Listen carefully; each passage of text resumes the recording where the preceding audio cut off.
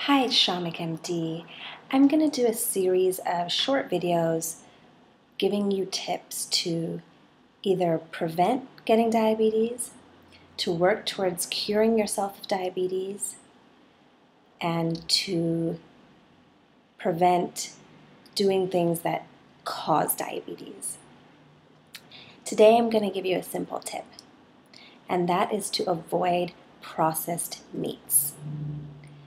Processed meats are processed with a component called sodium nitrite. And this is basically something that companies put in to keep the color, like the reddish color. It's also used as a preservative. You can find this in virtually all processed foods. So think about pepperoni pizza, deli sandwiches, all the deli meats. When you get canned soups, if they have meat in them, uh, many times beef jerky, hot dogs, uh, many times any red restaurant meat, um, most frozen foods with meat.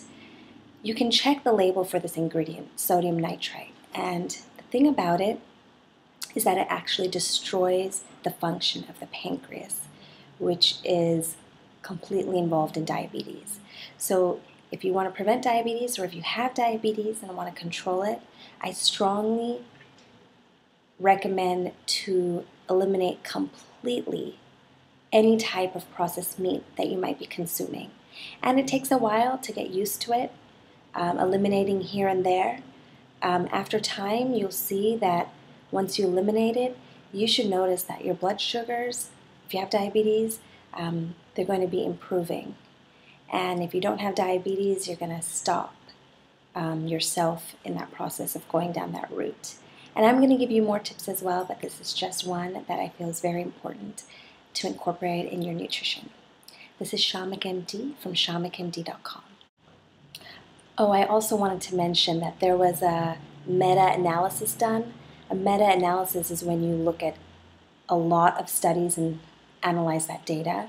So there was a meta analysis done of 20 studies that looked at at least 1 million people from 10 countries and it showed that even eating two ounces of processed meat um, was associated with a sharp rise, about a 20% plus rise in getting diabetes, and it was also 40% of heart disease.